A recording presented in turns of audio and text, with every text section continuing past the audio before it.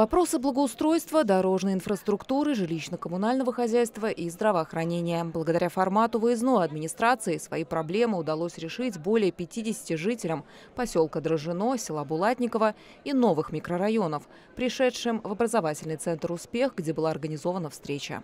У нас э, по всем службам есть вопросы. Вот в частности, сейчас мы с Квасниковой э, Татьяной Юрьевной решали вопросы возобновления работы ФАП. В у нас проживает только зарегистрированных 511 человек.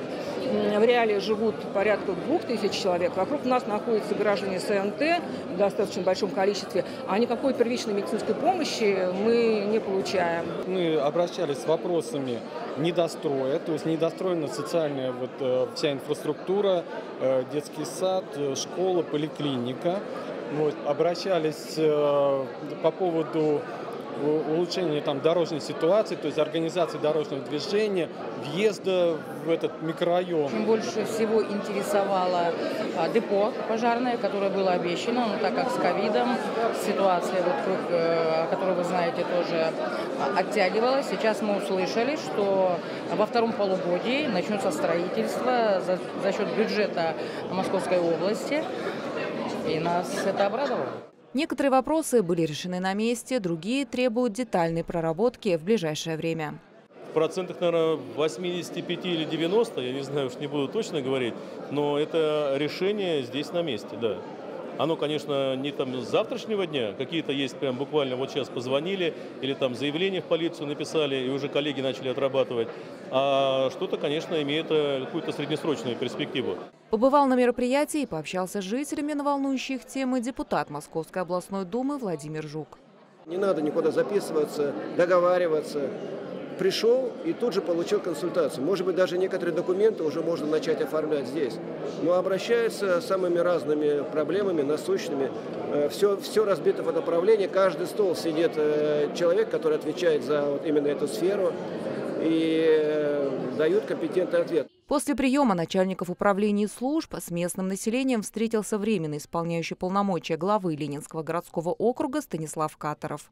Вопросов в Ленинском городском округе много. А, здесь много жилищного строительства у нас с вами идет.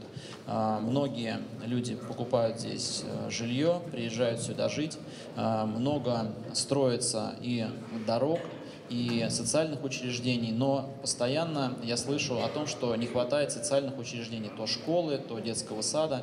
В основном это связано с теми микрорайонами, где были недобросовестные застройщики, которых пришлось подхватывать и э, доделывать жилые дома. Станислав Катаров во время открытого диалога ответил на многие наболевшие вопросы жителей, например, о дальнейшей судьбе образовательного центра «Горки». Когда же школа, наконец, откроется? Второй вопрос. Какой будет формат обучения? Будет ли там функционировать полноценная школа от начальной школы до средней школы? Или там будет что-то узкопрофильное? Мне важно понять э, сейчас для принятия решений по данной школе, э, что хотят наши жители э, и что мы можем предложить в ответ. Удобный формат мероприятия дает возможность людям быть услышанными. Без внимания не остается никто. Все обращения зафиксированы и взяты под контроль. Встречи с населением в формате выездной администрации проходят в округе на постоянной основе. Наталья Буслаева, Сергей Ларин, Гульнара Балаева. Видное ТВ.